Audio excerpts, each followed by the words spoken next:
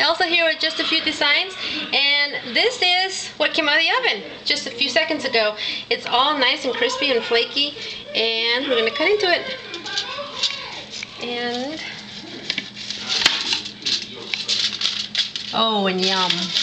That looks really good. Look at that. Delish. Looks delicious. So, anyway, I just wanted to show you all the finished product, and uh, you can see the cheese all melted in there, and oh lord, that's gonna be some good eating. So, anyway, that's how it turns out. And let's see, one, two, three, four. So you get about five good little pieces. You could probably feed one.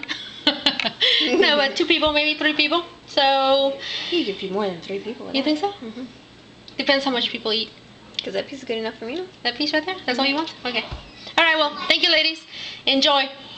Bye.